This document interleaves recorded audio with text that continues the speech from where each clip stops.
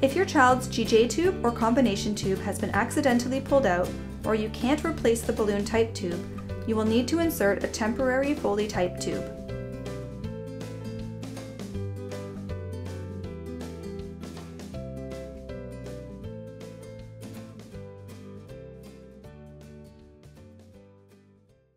If your child has a balloon type tube, such as a MIC-KEY, AMT MiniONE, Kangaroo, or MIC-G, and the balloon is not broken, wash the tube and reinsert it back into the stoma.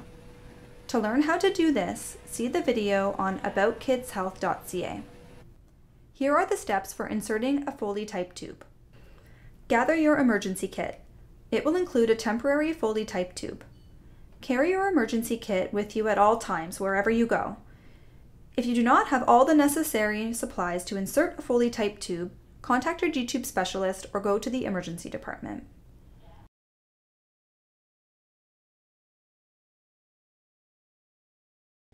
Prepare the following supplies on a clean surface. A Foley type tube, a washcloth, soap and water, water-soluble lubricant or water to lubricate the tube, tape, three 5 ml syringes, one with water to fill up the balloon, one that is empty to check the pH, and one with water to flush the tube. pH strips, pH color reference guide, an adapter or extension set. Now that you have your supplies ready, wash your hands with soap and water. Next, lay your child flat on their back on a bed or couch. Your child may be upset during the insertion. While the insertion can be done on your own, it may be helpful to have a second person to comfort, distract, or hold your child's hands to prevent them from interfering.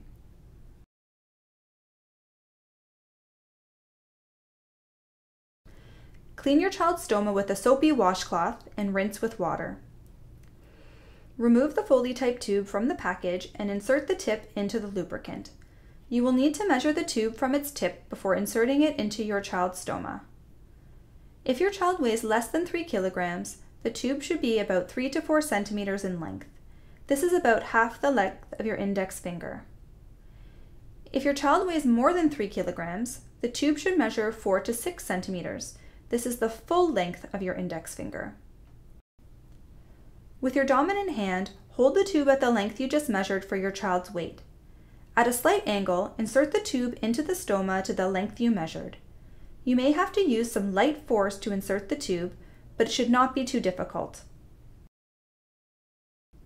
If your child is upset and crying, their abdominal muscles will be more rigid. This may tighten the stoma, making it more difficult to insert the tube. Try to insert the tube when your child is taking a breath in. The abdominal muscles may be more relaxed and it may be easier to insert the tube.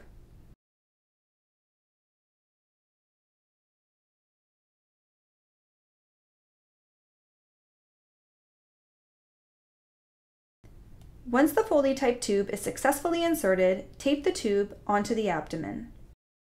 Congratulations! You have now prevented your child's stoma from closing. What you do now depends on the type of tube your child had and how long they had it. You should not use the temporary Foley type tube for feeds, medications, or fluids if your child had a GJ or combination tube, if you do not know which type of tube your child had, or if your child had a G-tube that was originally inserted less than 8 weeks ago. Contact your G-tube specialist or go to the emergency department of the hospital that manages your child's tube. If your child's G-tube was originally inserted more than 8 weeks ago, you may now use the Foley type tube for feeds, liquids, and medications once you have confirmed that it is in your child's stomach. Confirm that the Foley type tube is in the stomach by checking the acidity of the stomach contents. This is called checking the pH. If you do not have pH strips, do not use the tube until the placement has been checked by your G-tube specialist or an interventional radiology department.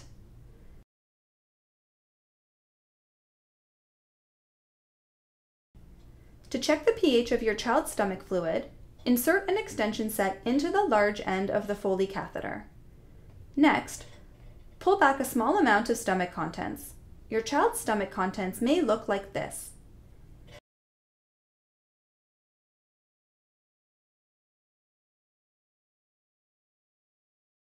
If you cannot get any stomach contents, move your child side to side or sit them upright. Sometimes you get air before stomach contents will flow. Empty the stomach contents from the syringe onto the pH strip and compare the colors on the pH strip to the colors on the reference guide. If the pH is less than 6.0, the tube is in the stomach. Flush the tube with 5 ml of water.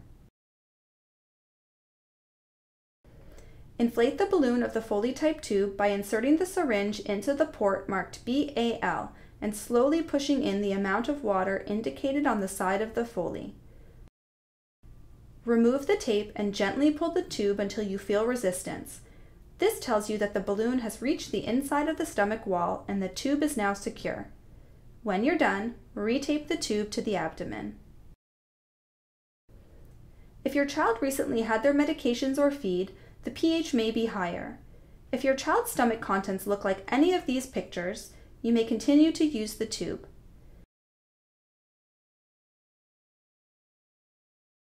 If the pH is 6.0 or higher, and the tube was very difficult to get in, or the stomach contents do not look like the examples, it may not be safe to use the Foley type tube.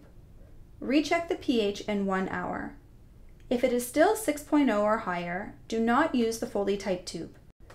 Contact your G-tube specialist to arrange a tube change, or after hours, go to the emergency department of the hospital that manages your child's tube.